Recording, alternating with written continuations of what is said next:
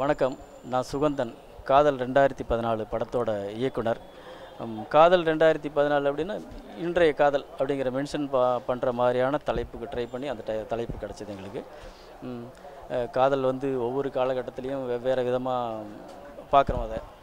ஒரு உயிர் உயிரை கொடுக்குற விஷயமாவும் சரி அதை ஒரு ஈஸியாக எடுத்துக்கிற விஷயமாவும் சரி ப்ராக்டிக்கலான வாழ்க்கை நடத்துகிற ஒரு விஷயமாவும் சரி காதல் எப்படி தான் தோற்றம் அளித்தாலும் அதோட அடிப்படை ஒரு தன்மையும் அதோட மெருட்டும் மெ- மெருகும் என்றைக்குமே வந்து குறையாம ஒரு நல்ல காதலாகவே இன் இன்னைக்கு வரைக்கும் காதல்ங்கிறது வாழ்ந்துக்கிட்டு தான் இருக்கும் அப்படிங்கிறது அந்த கதையோட அடிப்படை.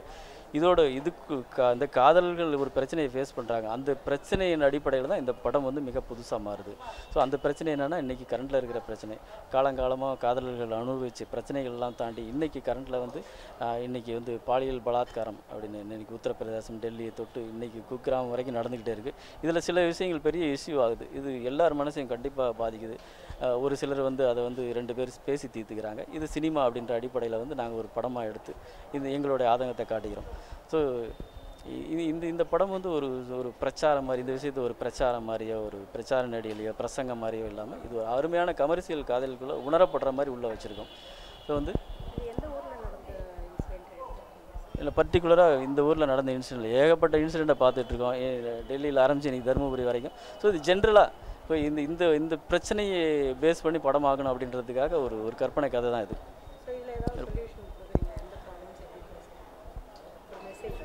இல்லை இது இதோட இதோட பாதிப்பை மட்டுமே சொல்கிறோம் இது இதோட சொல்யூஷனோ அந்த பிரச்சார பிர- ஒரு இது சொல்யூஷன் சொல்கிற ஆங்கிளில் இது இல்லை. இது வந்து ஒரு ஒரு பொண்ணு வந்து அதை எப்படி ஃபேஸ் பண்ணா?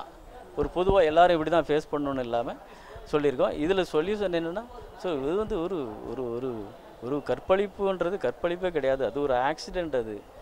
அதை தாண்டி ஒரு பொண்ணு வந்து போயிட்டே இருக்கணும் வாழ்க்கையை பார்க்கணும் அப்படிங்கிறது தான் இதில் வந்து பொதுவான ஒரு விஷயம். இதில் வந்து கோரிப்பாளையம் மாத்தி யோசி இந்த படங்கள்லாம் நடித்த ஹரிஸ் அவர் தான் ஹீரோவாக நடிச்சிருக்காரு.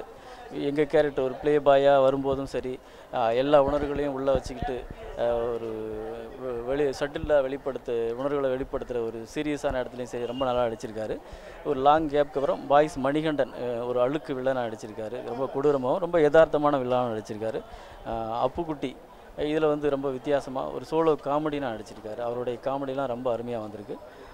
அதுக்கப்புறம் வந்து நேகா ஹீரோயின் அவங்க வந்து சில படங்கள் பண்ணியிருக்காங்க. பட் இந்த இந்த இந்த படம் வந்து அவங்களுக்கு முதல் படமாக வெளியில் வருது. அவங்களும் நல்லா நடிச்சிருக்காங்க. அப்புறம் Shankar K editor Faisal music director அவர் சில்லுன்னு ஒரு சந்திப்பு.